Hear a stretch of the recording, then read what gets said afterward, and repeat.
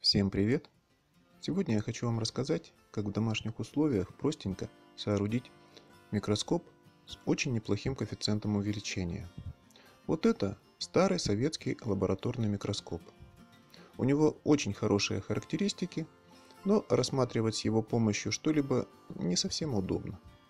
Поэтому я решил поначалу модифицировать его и вмонтировал в него веб-камеру, но это оказалось не так удобно. Поэтому давайте я расскажу, как обойтись без веб-камеры и микроскопа. И при этом получить хорошее увеличение прямо на экране планшета или смартфона.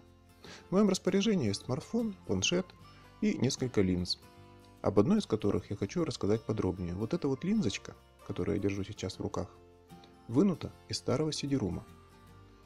Испробовав ее, я убедился, или к удивлению обнаружил, что ее коэффициент усиления очень даже неплохой.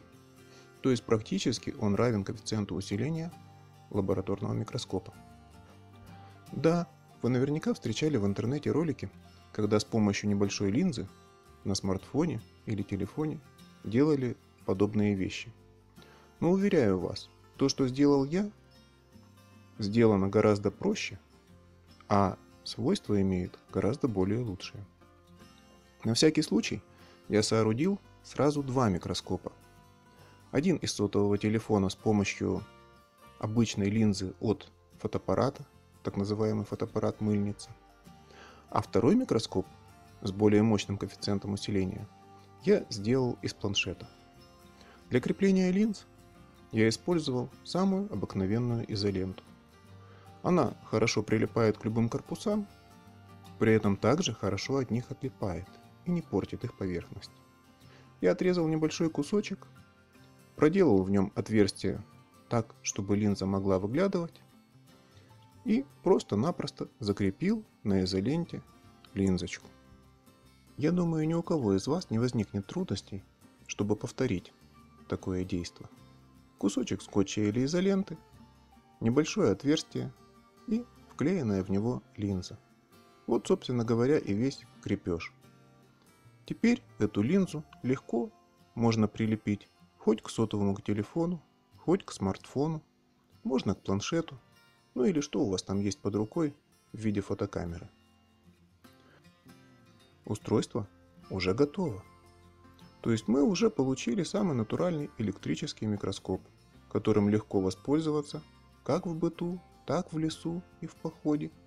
Или же этот микроскоп может помочь вам ну, читать мелкие тексты на бутылках или на ценниках. Все может быть. Ну а теперь давайте испытаем, как он будет действовать. Ну, как правило, используют какие-нибудь рисунки, бумажки. Ну, я взял купюру 200 рублей и стал с помощью микроскопа средней мощности рассматривать ее рисунок. Как видите, совсем неплохо справляется. Но это как бы микроскоп среднего коэффициента усиления. Самое интересное впереди.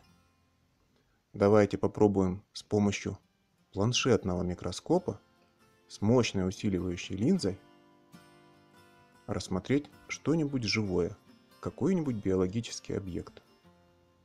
Я использовал для начала ту же купюру, а потом взял листочек картофеля.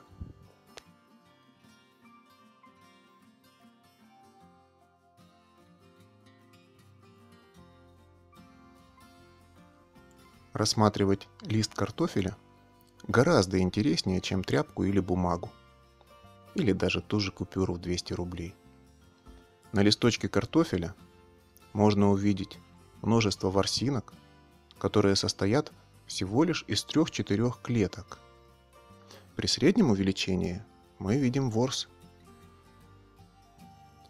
а при крупном увеличении мы видим страшные трубы, а поверхность самого листочка выглядит бугристой, но это поверхность клеток. Ну вот, собственно говоря, и все. Вот такие два микроскопа, которые изготовить можно буквально за минуту. Такие простые микроскопы для юных натуралистов будут весьма кстати, ведь многие дети увлекаются рассматриванием того, что не видно невооруженным глазом. Кристалликов соли, сахара, ткани, бумаги, даже своих собственных игрушек. Очень интересно под микроскопом выглядит картошка, арбузы, срезы репчатого лука. Но все это вы можете сделать у себя дома самостоятельно. А на этом все. Пока.